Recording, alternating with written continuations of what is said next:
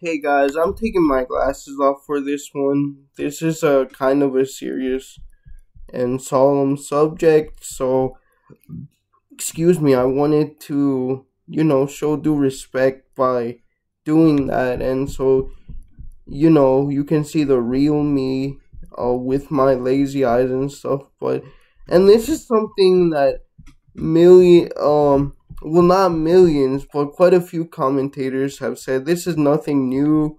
Um, but yeah, community is dead.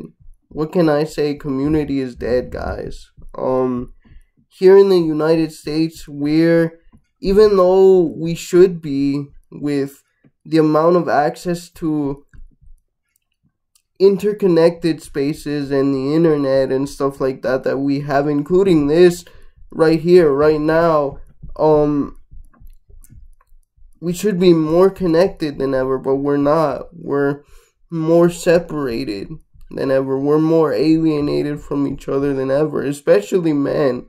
And um you guys know that this channel has a special focus on men. Not that I have anything against women, not that I um at least I think neglect them. I actually have a pretty sizable following of women. They usually average around 30 to 40% of my viewership uh, when I'm uploading content regularly.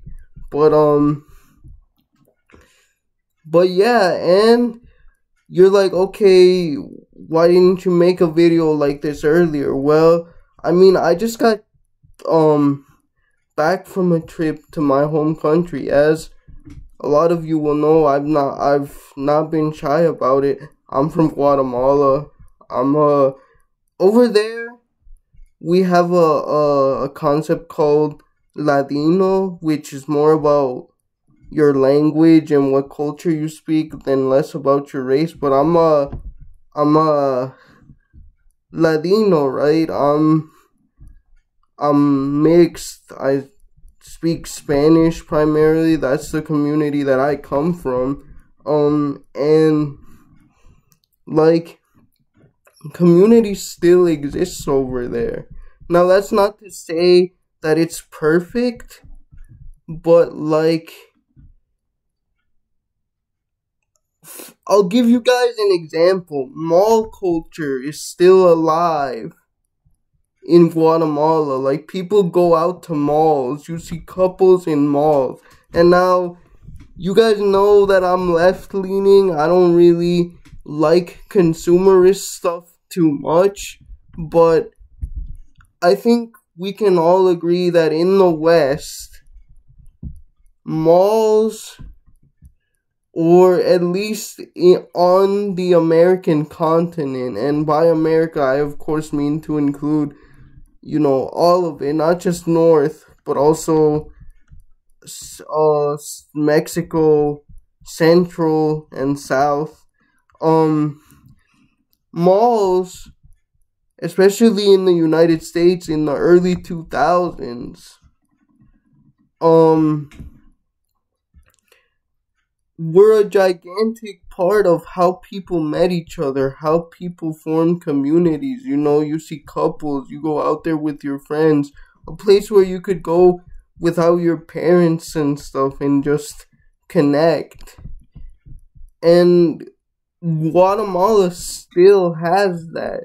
They're everywhere. And, you know, I'm not, I don't want to wave away the poverty because that still exists. But if you're like a Ladino and you like have a middle class income or whatever, like most people live in like a gated communities with security and stuff like that. And the ur- the urban planning guys is unfathomably based, brother, love, brothers and sisters. Like literally everything you would want, parks, um, tienditas like corner stores, talleres, shop uh shops to repair your car um do all your stuff for daily living is within walking distance bro. Literally within walking distance. And i mean you know usually they they they have all those services close by.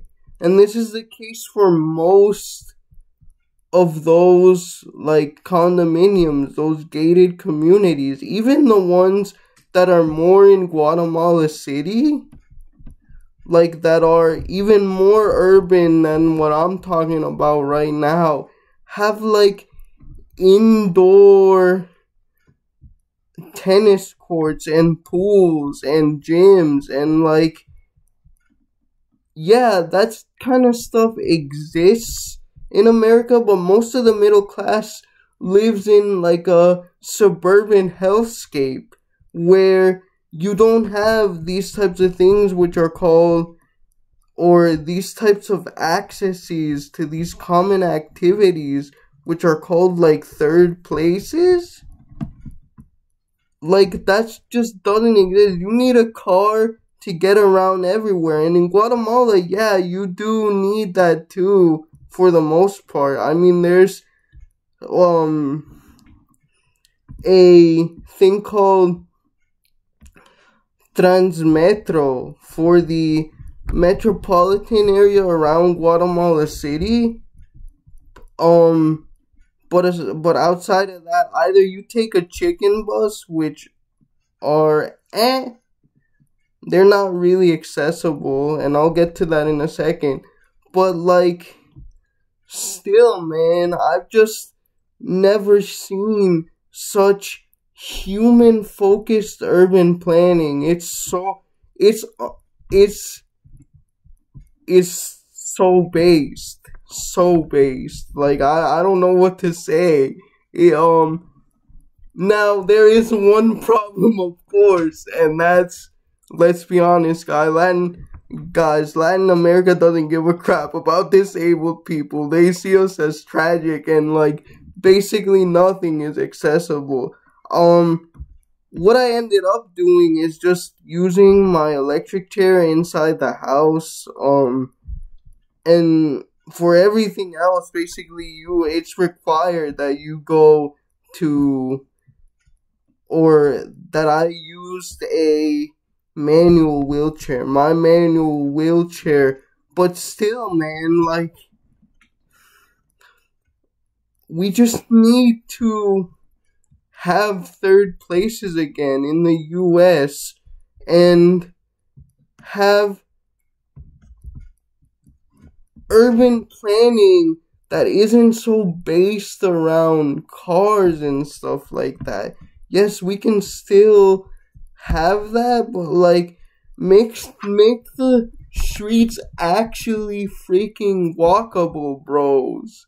Like have they have tons of speed bumps everywhere too. That's based um you know even with the lack of accessibility, I'm saying this as a disabled man where like bro, something needs to be done. Oh, okay. Bye, guys. See you.